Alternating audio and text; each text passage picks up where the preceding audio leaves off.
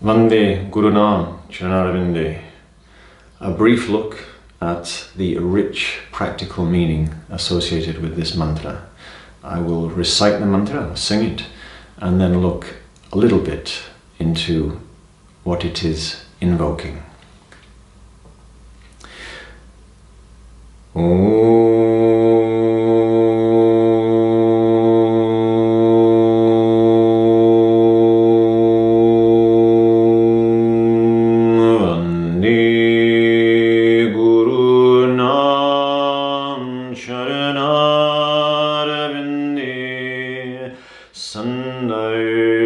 Sandarshita Svatma Sukha Buddhi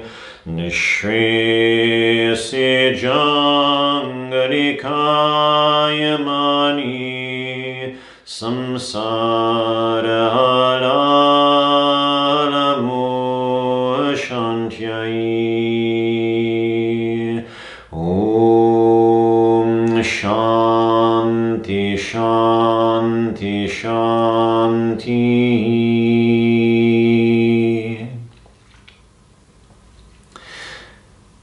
Vande Guru Nam Charanaravinde.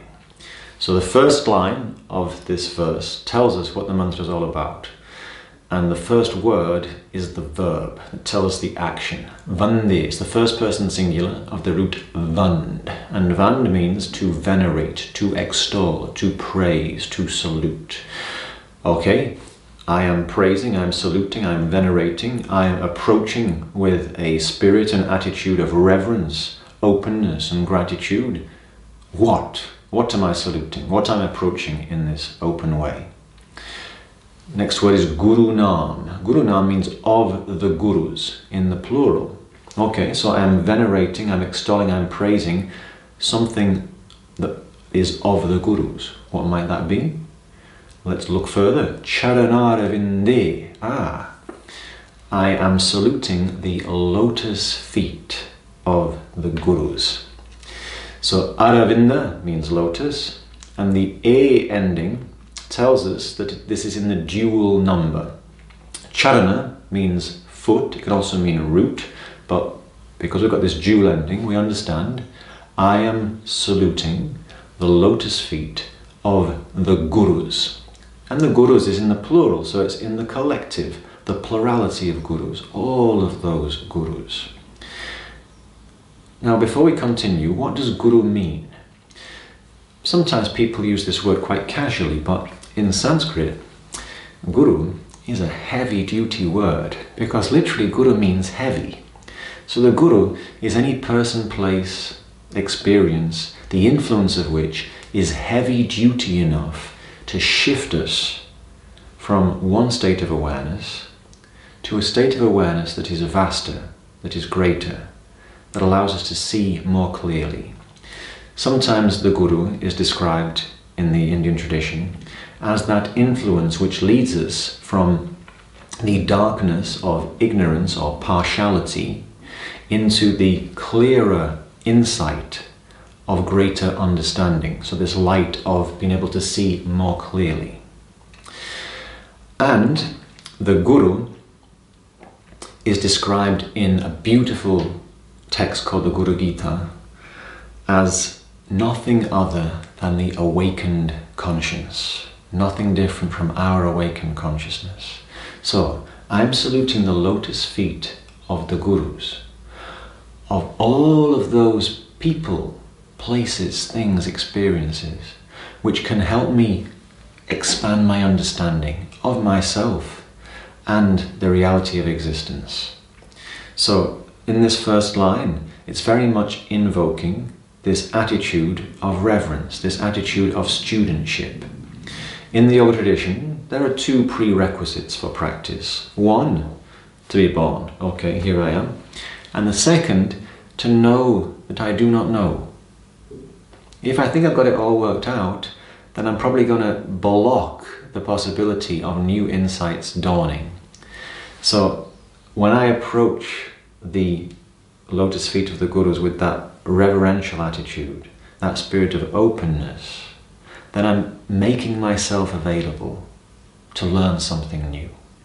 So, what a fantastic way to begin a yoga practice or a period of study. This mantra is often used to invoke this attitude and to pay homage to these great gurus of the yoga tradition at the beginning of practice.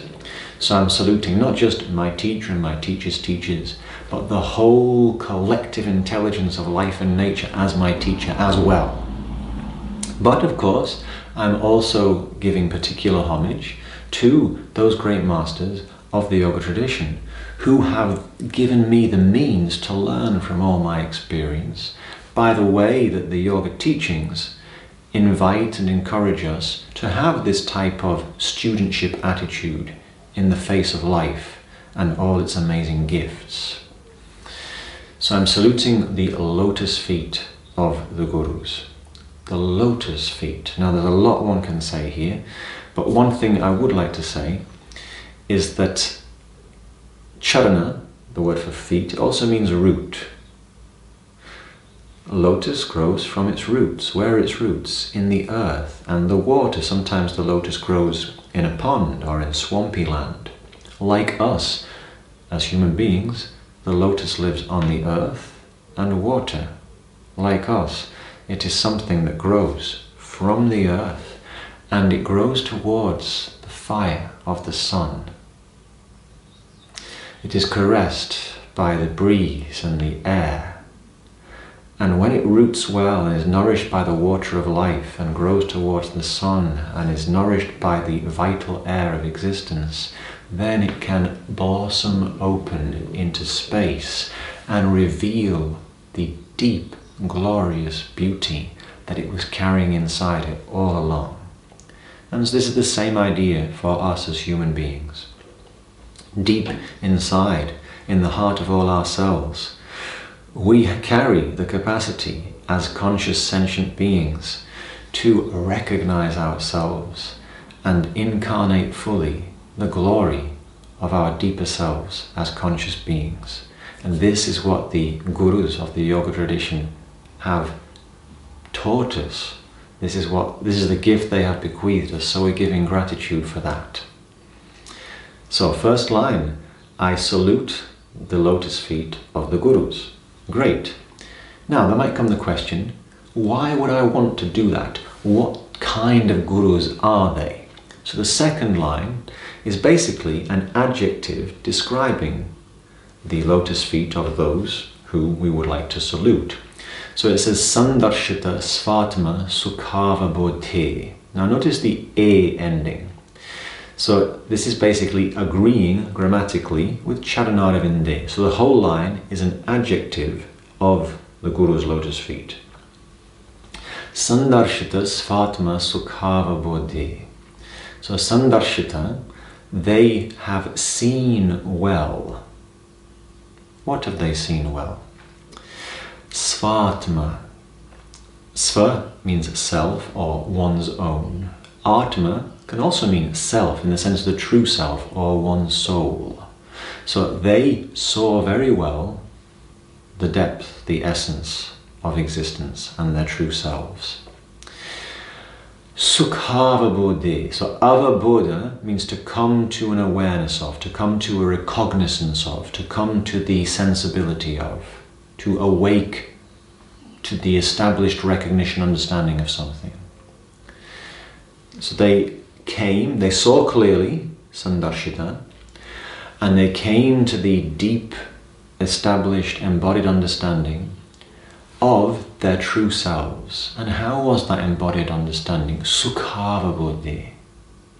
Sukham means literally good su and kam space, good space, a space in which there is a good vibration, a space in which there is harmony. So sukham also means happy, easeful, agreeable. So these gurus, they saw well the reality of existence, of themselves. They came to full self-realization. And how was that realization? How was that awakening? It was sukham, it was most agreeable. Now this line is also very interesting because sandarshita, this is from the root drish, the root to see, which gives us words, for example, like darshana, a perspective. Yoga is a darshan, it's a perspective, it's a way of looking at, engaging with reality. And yoga recognizes that as a human being, often our darshana, our perspective, our way of looking, can get limited and veiled by our conditioned ideas. But this sandarshita, this is also carrying in the Sanskrit the sense that not only did these gurus see well themselves, but they were then able to act, as it were, as causative agents for others to see well too.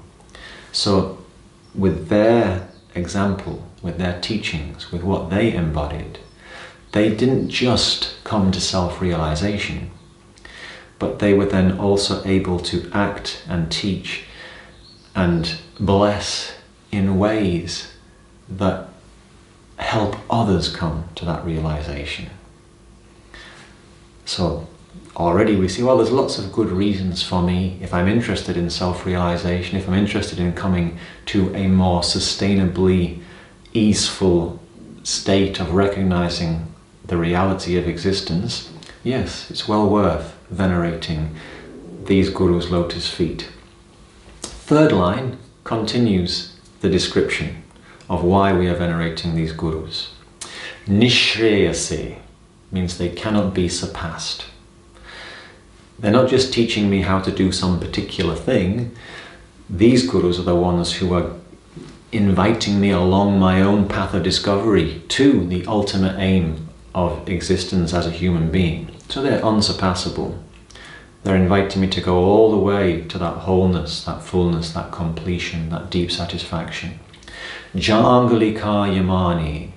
Now, Jangalika Yamani, again the A endings, this is further describing those, those gurus whose lotus feet we are venerating.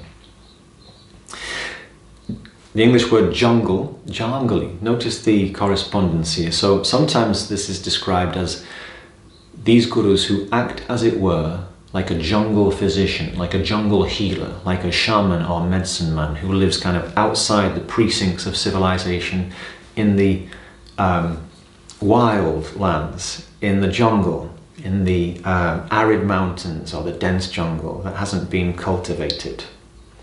As such, the medicine man, the shaman, the jungle physician, the jungle healer who lives in this place, such a healer has that deep understanding of the forces and power of nature and is able to work with them skillfully and respectfully to help cultivate yoga and harmony here in the reality of a human existence on this planet with all of its comings and goings and ups and downs. The Kalyamana refers to that place where the um, jungle physician might reside. But this word is very interesting because Jangali Kalyamana can also connote the idea of the expert snake charmer.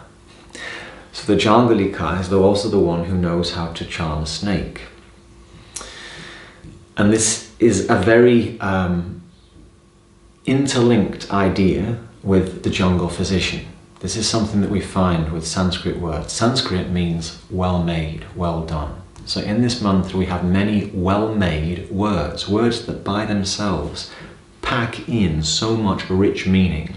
But when these words that pack in so much rich meaning are juxtaposed close to one another, they play off each other and bring out all of these other rich associations. So these gurus, they're unsurpassable. They act like great healers in the jungle of existence. They know how to work with the comings and goings, the realities of life, to actually bring us to a state of true health and real wholeness and balance and integration. And as they do that, they also act like expert snake charmers. Now, in yoga, just like lotus, snake is a very recurring symbol of great importance. Lord Shiva who is also known as Yogishwara, the Lord of Yogins, sometimes when he is depicted as Yogishwara, he is adorned with snakes, and he may have the king cobra around his neck as his garland. And this symbolizes a similar idea to these jungle physicians. Lord Shiva, when he wears this snake around his neck, how is the king cobra? What a majestic creature. Its dark scales may be iridescent, and in them we can see reflected all the variegated beauty and colours of the spectrum of life. And if you see a king cobra in the sunlight, for example, moving in this very graceful way, it can be quite intoxicating, quite beguiling, quite compelling, quite mesmerizing. And this is like the beauty of existence, the beauty of worldly life. It's got so many shades, so many colors, so many possibilities, so much infinite variety. We can get lost in it. Now, how else is the king cobra, as well as being very beautiful, contains deadly poison, can also be very dangerous. And so this is also said to be like the world. It is full of beauty. But if we are complacent, then the beauty of the world, all these comings and goings, we can get lost in that. We can get caught up in the miasma. We can get mesmerized and veiled and shrouded as our awareness gets pulled here and there and somewhat confused. But Lord Shiva, Yogeshwara, the Lord of Yoga, he knows how to make the beauty of existence his adornment. He knows how to celebrate it and enjoy it without getting trapped, enmeshed, bound, or poisoned by it. And so Jangalika Yamani has this sense as well. These yogic masters, these gurus who we are venerating, they are teaching us how to move gracefully in the world, how to move skillfully in the world, in dynamic equilibrium, working with our nature, working with the rhythms of life respectfully, sustainably, in ways that help us and help the collective evolve into that recognition of our deeper selves. So, lots more good reasons why I want to orient towards these gurus with reverence. Then the last line does two things at once, which is some, well, does many things at once, but two of the things it does at once in classic Sanskrit style. It further talks about why these gurus' lotus feet are worth extolling. So it's further describing the gurus, but it's also telling us for what purpose we are praising and venerating them, why we are orienting towards them with this spirit of devotion, with this spirit of reverence. Samsara halahala mohashantyai. So notice that the ending of the word here is different. We've had a, a, a. Now we have shantyai. And this is in the dative case, which means to or for. So this means for the purpose of. So why are we venerating these gurus? For the purpose of what? Shantyai, shanti. For the purpose of pacifying. Pacifying, harmonizing what? Moha, the delusion. What type of delusion? Halahala, of the potentially deadly poison, samsara, of worldly existence. So this idea that we just mentioned with regard to the snake, the expert snake charmer. So we are venerating these gurus who, through their own deep understandings, have been able to give teachings that help others come to that established understanding of the true self. These unsurpassable gurus who act like a great healer who can help us bring harmony and wholeness into the reality of life, we orient towards that energy with openness and gratitude, with the intention of freeing ourselves from the potential poison, miasma, and confusion and delusion that is part and parcel of worldly existence when things are always changing, it's easy to get beguiled and confused. And so we orient towards that energy that brings harmony and clear sight and understanding and can help us come out of partiality and into wholeness and true understanding. And so this is why we vande, we, why I vande, why I venerate the lotus feet of the Gurus. So I think it's such a beautiful mantra to begin a yoga practice. And I hope that if you do work with this mantra or you'd like to work with this mantra, this brief introduction to some of the riches encoded in its meaning is helpful. Thank you.